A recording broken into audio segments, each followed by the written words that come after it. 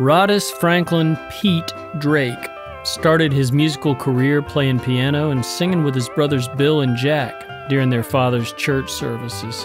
Young Pete became fascinated with the mysterious, hard to tame steel guitar when he heard Jerry Byrd on the Grand Ole Opry.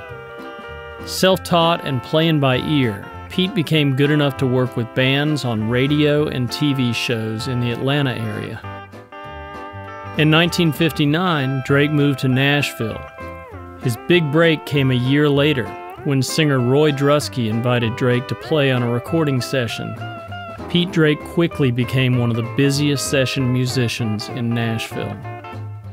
Drake created his own talk box, a device that allowed a player to blend vocal sounds with the sounds of an instrument.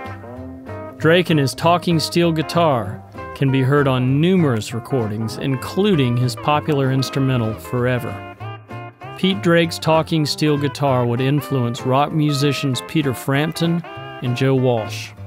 Not limited to recording with country artists, Drake's steel can be heard on Bob Dylan's John Wesley Harding and Nashville Skyline albums. After working with Dylan, Drake played on albums by former Beatles Ringo Starr and George Harrison. In the mid 1960s, famed producer Billy Sherrill began using Pete Drake as his go to steel player, enlisting him to play on a bevy of hit records. Drake died in 1988, but he remains one of American music's prime innovators.